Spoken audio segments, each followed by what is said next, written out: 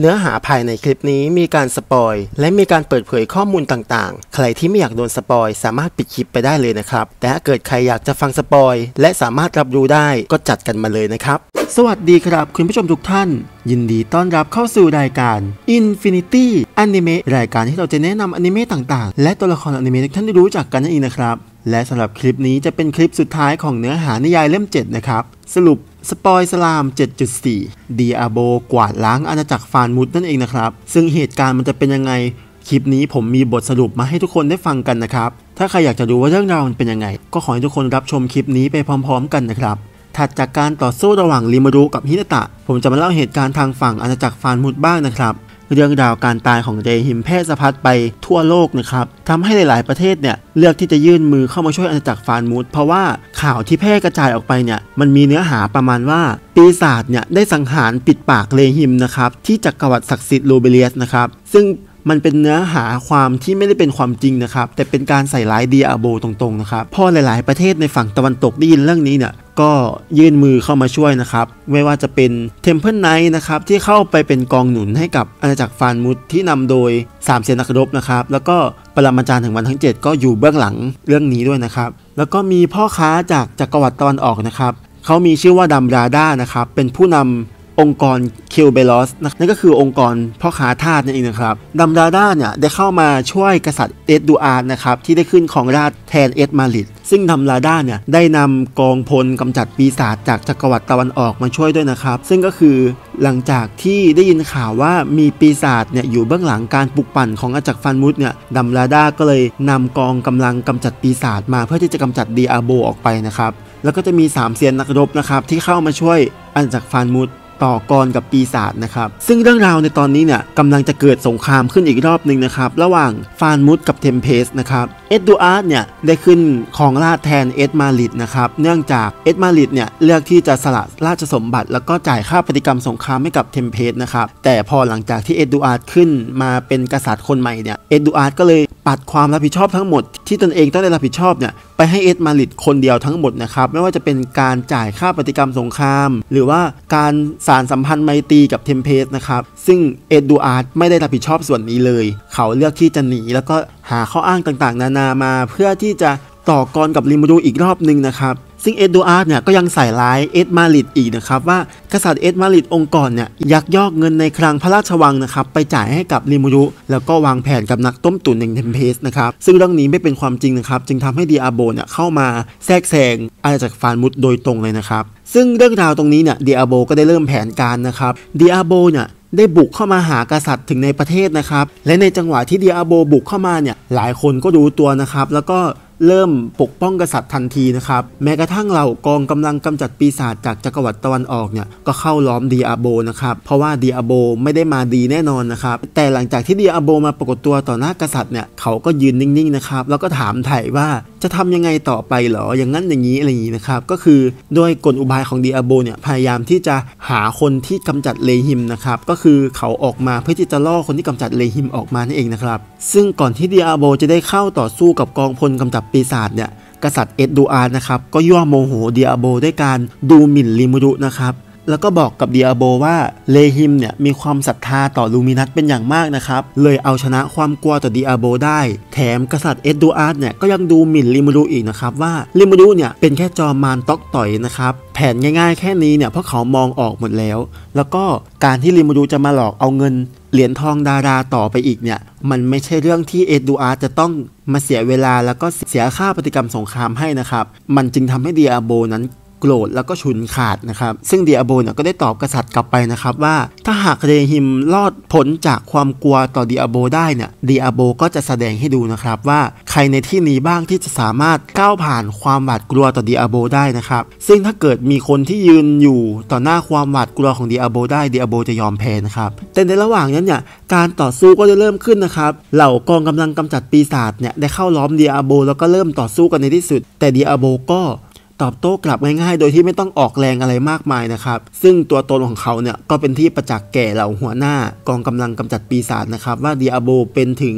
หนึ่งในต้นกำเนิดปีศาจนะครับ ซึ่งไม่สามารถจะต่อกรได้แน่นอนจึงทำให้ พวกกองกำลังกำจัดปีศาจเนี่ยต้องรีบถอนกำลังกลับไปนะครับเพราะว่าเดียโบเป็นตัวตนที่ไม่อาจต่อกรได้เองนะครับเดียโบเนี่ยเลือกที่จะช่วยเหล่านักข่าวหรือสื่อมวลชนนะครับที่มาในประเทศแห่งนี้ ซึ่งในระหว่างที่เดียโบโผล่มาเนี่ยเขาเนี่ยได้ได้เขตแดนคุ้มกันพวกเหล่าสื่อมวลชนไว้นะครับซึ่งพวกสื่อมวลชนที่เข้ามาในประเทศฟานมุดเนี่ยเข้ามาเพื่อที่จะทำข่าวเกี่ยวกับเดียโบนะครับว่าเดียโบเนี่ยเป็นปีศาจที่ทำลายนะครับแต่เดียโบก็เข้ามาพิสูจน์ความจริงนะครับว่าเขาเนี่ยไม่ได้เป็นฆาตกรรมแล้วก็ไม่ได้ฆ่าเลหิมนะครับเขาก็เลยให้ความช่วยเหลือแก่เหล่าสื่อมวลชนนะครับ ซึ่งหลังจากที่เขาสู้กับกองพลกำจัดปีศาจเสร็จเนี่ยเดียโบก็เริ่มการคัดแยกคนที่แข็งแกร่งพอที่จะมายืนต่อหน้าตนเองนะครับ โดยการปล่อยจิตคุกคามแห่งจอมมารออกมานะครับ แต่นั่นมันก็ทำให้กษัตริย์เอ็ดดูอาร์ดและหลาย ๆ คนนะครับสลบจนถึงกับน้ำลายฟูมปากแล้วก็นอนแน่นิ่งไปเลยนะครับ คนที่เหลือรอดมีแค่เกรนด้าแล้วก็ซาเล่แล้วก็ผู้นำของ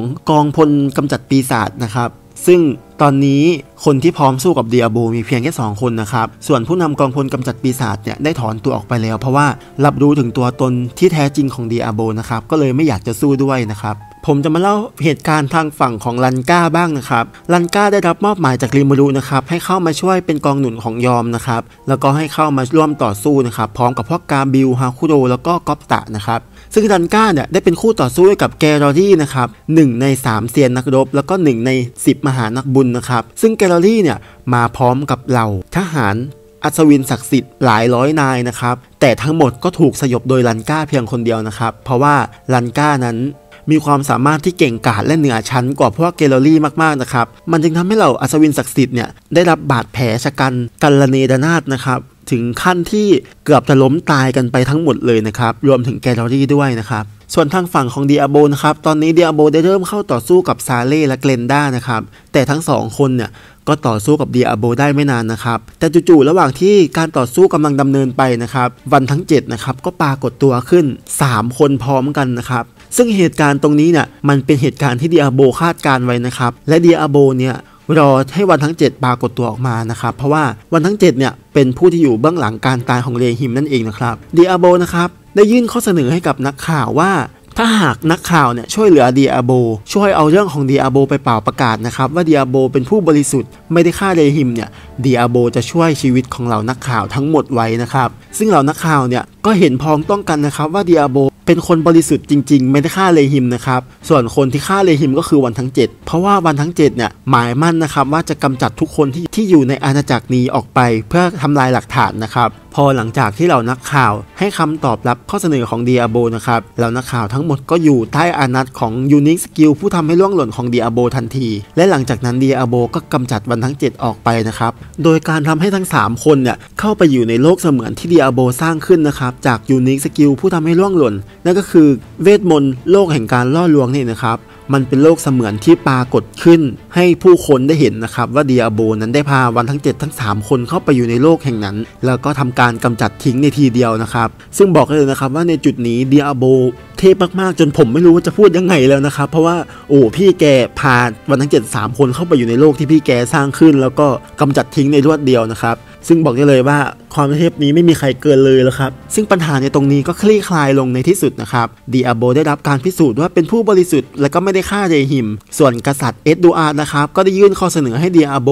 ว่าถ้าหากดีอาโบช่วยเหลือตนเนี่ยกษัตริย์เอ็ดดูอาร์จะยอม สละราชสมบัติ และยกทุกสิ่งทุกอย่างให้กับดีอาโบนะครับซึ่งในตรงส่วนนี้เนี่ยดีอาโบพึงพอใจเป็นอย่างมาก แล้วก็ไว้ชีวิตกษัตริย์เอ็ดดูอาร์ในที่สุดนะครับ เอาละครับผมจะมาเล่าเรื่องราวทางฝั่งของฮินาตะกับริมูรุต่อกันบ้างนะครับ ว่าหลังจากที่วันทั้ง 7 โผล่มาเนี่ยมีอะไรเกิดขึ้นบ้างนะครับ หลังจากที่วันทั้ง 7 นะครับโผล่เข้ามาในประเทศเทมเพสฮินาตะที่ตอนนี้ไม่สามารถใช้เวทมนต์ได้แล้วนะครับ ก็ได้แต่นอนแน่นิ่ง แล้วก็ถูกวันทั้ง 7 โจมตีนะครับ หนึ่งใน 3 ของวันทั้ง 7 ที่ปรากฏตัวออกมานะครับ ก็ทำการโจมตีฮินาตะด้วยเวทไฟนะครับ ยิงทะลุผ่านอกฮินาตะจนทะลุจนเป็นรูโบนะครับจนฮินาตะไม่สามารถฟื้นฟูได้นะครับ ซึ่งคนที่โจมตีฮินาตะที่ใช้เวทไฟโจมตีทะลุอกเนี่ยก็ไม่ใช่ใครที่ไหนนะครับ นั่นก็คือเกียรูโดนะครับเกียรูโดเนี่ยเป็นตัวปลอมนะครับ ซึ่งเป็นวันทั้ง 7 ปลอมตัวมานะครับ อบแฝงมาใน 10 มหานักบุญกับฮินาตะ แต่ฮินาตะไม่รู้ตัวนะครับ พอหลังจากที่โจมตีฮินาตะเสร็จนะครับเดียโบนะครับก็รายงานเข้ามา